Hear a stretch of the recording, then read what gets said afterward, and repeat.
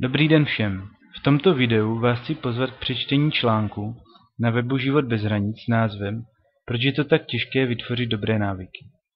Už jste si někdy stanovili cíl, že se naučíte nové chování, jen abyste o týden později zjistili, že to vůbec neděláte? Já ano. Proč je tak těžké vytvořit dobré návyky? Proč je tak těžké udělat trvalou změnu? Jak to, že když máme ty nejlepší úmysly stát se lepšími, děláme tak malé pokroky? A co je nejdůležitější? Je něco, co s tím můžeme dělat? Přečtěte si celý článek a dozvíte se, jak na to. Teď už na nic nečekejte a klikněte na odkaz pod videem. Nezapomeňte také článek sdílet se svými přáteli. Pěkný den.